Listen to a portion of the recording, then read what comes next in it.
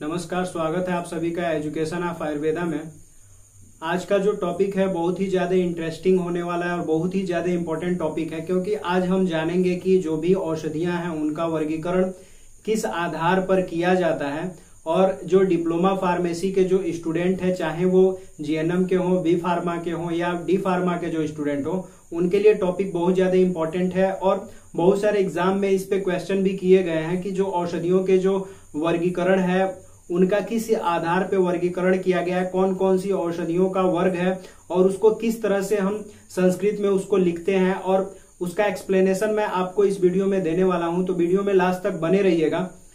अभी बहुत सारी चीज़ें हैं जो सामने निकल के आ रही हैं कि बहुत सारे लोग ऐसे हैं जो चैनल पे कमेंट कर रहे हैं कि डायरेक्टली हमें जो पेपर है उनका सॉल्व चाहिए, हमें नोट्स चाहिए। जो प्रीवियस जो एग्ज़ाम हुए हैं, उनके पेपर के जो आंसर है, वो आप कराइए। तो सारी चीज़ें पॉसिबल नहीं है, लेकिन मैं कोशिश ये कर रहा हूँ कि एक पीडीएफ प्रॉपर पीडीएफ आपको आंसर सीट की बना करके और टेलीग्राम जो चैनल है मेरा, उसमें आपको दे दूँ। इस वीडियो के डिस्क्रिप्शन में भी टेलीग्राम चैनल का लिंक मिल जाएगा। तो आप टेलीग्राम से जुड़ जाइए और वहाँ से आप, मेरा जो पर्सनल नंबर है, उस पर आप व्हाट्सअप कर दीजिए टेक्स्ट कीजिए आपके टेक्स्ट का आंसर दूँगा। तो बिना टाइम वेस्ट किए मैं टॉपिक पे चलता हूँ। आज का जो टॉपिक है, वो है वर्गीकृत औषधियों की परिभाषा। यहाँ पे सबसे पहले तो मैं ये साफ़ कर दूँ कि जो वर्गीकृत औषधियाँ हैं, औषधियों का मतलब ये कि जो आयुर्वेदिक जो औषधियाँ हैं, उनका वर्गीकरण आयुर्वेद में किस आधार पर किया गया है और उनकी परिभाषा हमेशा एग्ज़ाम में पूछा जाता है। बहुत सारी ऐसी औषधियाँ जिनका नाम बस दे दिया जाता है और उसका परिभाषा आपसे पूछा जाता है तो इसमें मैं आपको वही चीज़ें बताने वाला हूँ। तो अगर औषधियों का अगर देखेंगे तो आयुर्वेद में बहुत सारी अलग अलग औषधियाँ जैसे त्रिफला हो गई दशमूल हो गए, या चतुर्बीज हो गए, या त्रिकटु हो गए। तो इस तरह के जो औषधि हैं, उनका नाम आपको दे दिया जाता है और उसके बारे में पूछा जाता है डिटेल में कि अगर चतुर्बीज है तो उसको हम चतुर्बीज क्यों बोलते हैं क्या क्या चीज़ें उसमें इन्वॉल्व होती हैं। इस तरह के क्वेश्चन पूछे जाते हैं। तो उसी से रिलेटेड आज का जो टॉपिक है, मैं आज आपको बताने वाला हूँ। तो सबसे पहले मैंने सारी चीज़ें आपके सुविधा के लिए मेंशन कर दिया हुआ है कि जैसे आप क्लास अगर कर रहे होंगे, जो लोग पुराने हैं, जो चैनल से जुड़े हुए हैं, और जो नए हैं, जो वीडियो देख रहे हैं, वो आप आपसे रिक्वेस्ट है कि आप चैनल सब्सक्राइब कर लीजिए और जो नोटिफिकेशन बार है, उसको ऑन कर लीजिए, क्योंकि जो वीडियो आती है, उसका नोटिफिकेशन डायरेक्टली आपको जब तक आप बेल आइकॉन दबा करके नोटिफिकेशन ऑन नहीं करोगे तो आपको डेली जो वीडियो आ रही है, वो उसकी अपडेट आपको नहीं मिलेगी। तो आप बहुत सारी चीज़ें जो है, आप मिस कर दोगे, आपको नहीं मिल पाएगी। बेल आइकॉन है, दबा दीजिए, ताकि आपका ही फ़ायदा हो। तो यहाँ पे जो टॉपिक है, वो मैं आपको समझा देता हूँ कि आज मैं चार तरह के औषधियों के ऊपर डिस्कशन करने वाला हूँ, जिसका वर्गीकरण आयुर्वेद में कुछ आयुर्वेदिक आयुर्वेद में वर्गीकरण कुछ इस तरह से किया हुआ है, जैसा कि आपको मैं यहाँ पे दिखा पा रहा हूँ। जो सबसे पहली जो औषधि है, त्रिफला है। त्रिफला को आयुर्वेद में अगर औषधि की परिभाषा अगर देखेंगे तो डायरेक्टली श्लोक, जो श्लोक है, संस्कृत का श्लोक है, सबके मान का नहीं है, सब लोग नहीं लिख पाएँगे। तो कोशिश मैं ये कर रहा हूँ कि जो श्लोक है, उसका मैं मीनिंग समझा करके, उसको एक्सप्लेन करके आपको समझा दूँ। ताकि अगर एग्ज़ाम में आ जाता है वर्गीकृत औषधियों की परिभाषा लिखने के लिए, इस तरह की अगर औषधियाँ आ जाती हैं तो आप उसको डिटेल में लिख पाए। तो सबसे पहले जान लेते हैं त्रिफला के बारे में। त्रिफला को संस्कृत में श्लोक के रूप में लिखा हुआ है, पथ्या पथ्या विविधात्री नाम फल त्रिफला समय, फल त्रिकम च त्रिफला सावरा च प्रकृतिता। तो मतलब ये हुआ कि जो विभीतक है हरण है, आंवला है, इन सबों, इन सब का फल का त्वक लेकर, त्वक मतलब फल की त्वचा मतलब कि ऊपर का गुदा लेकर के, सबको सामान्य, जो समान रूप है सम भाग में लेकर के कूट पीस लेते हैं, और उसको एक साथ एकत्र करके चूर्ण बना लिया जाता है, रख लिया जाता है तो उसी को आयुर्वेद में त्रिफला कहा गया है, आयुर्वेद में उसको त्रिफला कहते हैं, और यहाँ पे जो एक और श्लोक है, जो इस बात को गलत प्रूफ करता है। जैसे आचार्य श्रृंगरधर जो है, उनके अनुसार अगर देखेंगे तो उन्होंने कहा है एका हरित की, क्योंकि बहुत सारे जो त्रिफला में अगर परिभाषा अगर देखेंगे तो यहाँ पे डायरेक्टली इस श्लोक का डायरेक्टली अर्थ यही हो जाता है। आप श्लोक देख सकते हो। फिर से एक बार मैं बता दूँ।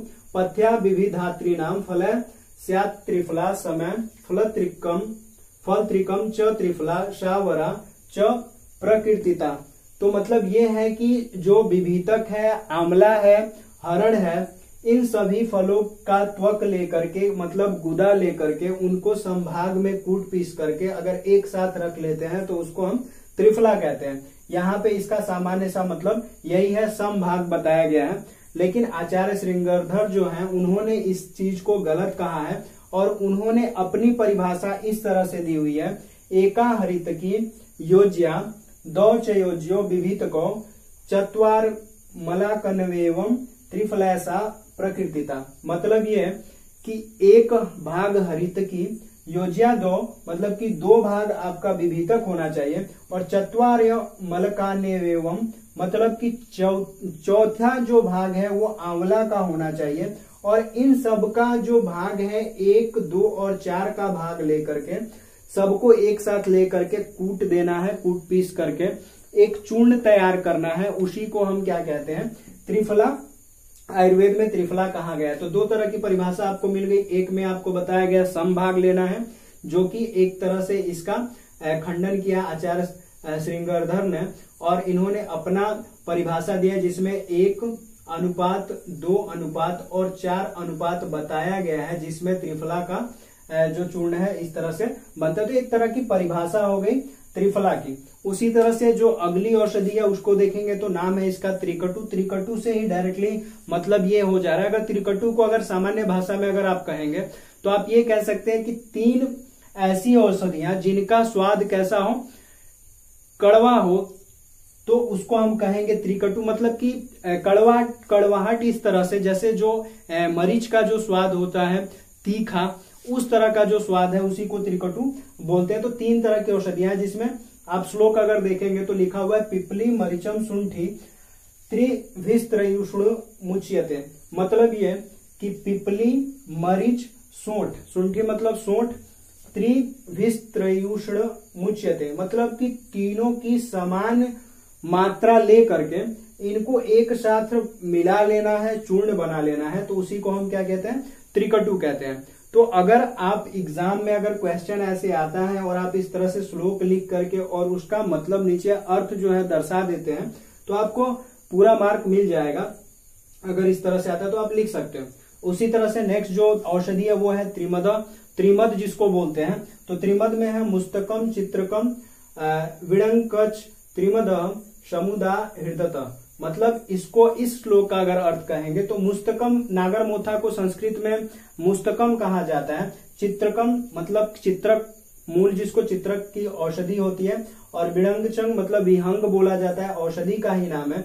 तो इन तीनों को सम भाग में ले लेना है और एक साथ चूर्ण बना लेना है तो उसी को हम त्रिमद कहते हैं तो त्रिमद चूर्ण भी आपको मिलेगा मार्केट में, चित्र त्रिकटु भी मिलेगा और त्रिफला भी मिलेगा। तो इस तरह, इसी तरह से इन औषधियों का प्रयोग करके ये दवाएँ तैयार की जाती हैं, जो श्लोक के रूप में आपको बताया जा रहा है। उसी तरह से अगली जो औषधि है, जिसको चतुर्बीज बोलते हैं तो चतुर्बीज में मतलब आपको डायरेक्टली मतलब समझ जाना चाहिए चतुर्बीज का मतलब कि चार तरह के जो बीज हैं, इनको कूट पीस करके, मिला करके एक चूर्ण तैयार किया जाता है, जिसको चतुर्बीज की कैटेगरी में रखते हैं। तो चतुर्बीज का अगर श्लोक देखेंगे तो लिखा हुआ है, मेथिका, चंद्र सूरस्व काल, अजाजी, यवानिका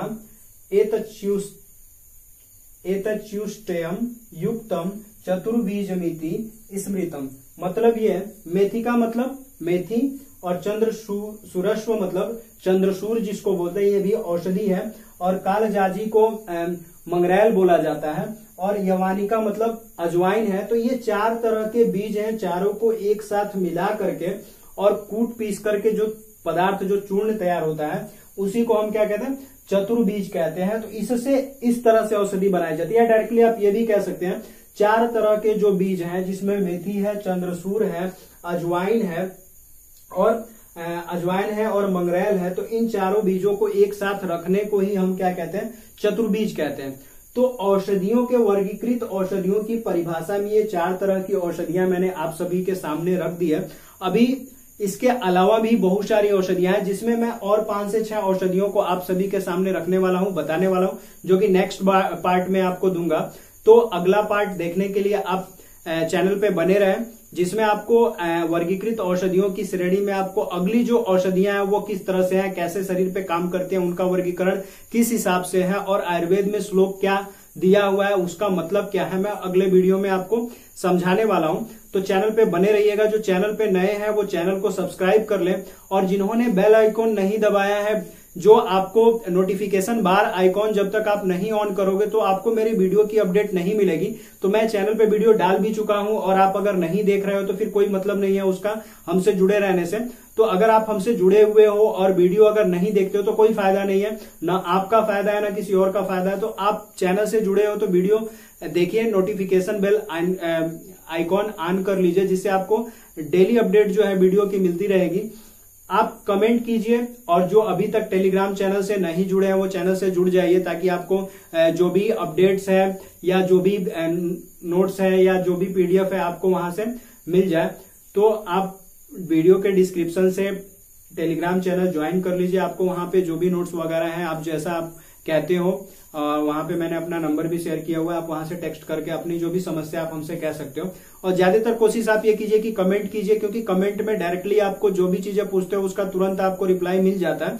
तो अगर आप कमेंट करते हो तो मुझे ये पता चलता है कि नहीं, आप जानने के इच्छुक हो, आपको ये चीज़ें जाननी है तो मैं बताने का भी कोशिश करते रहता हूँ। तो कमेंट कीजिए वीडियो अगर अच्छी लगती है तो लाइक कीजिए, दूसरों तक पहुँचाने के लिए शेयर कीजिए।